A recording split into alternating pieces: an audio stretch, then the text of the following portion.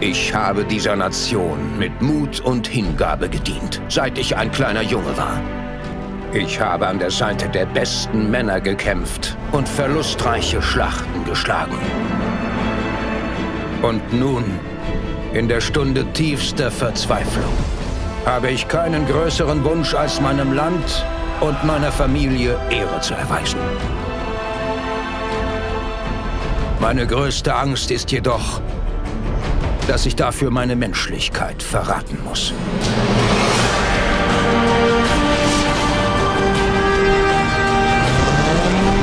Über das, was ich jetzt tun werde, wird die Geschichte ihr Urteil fällen.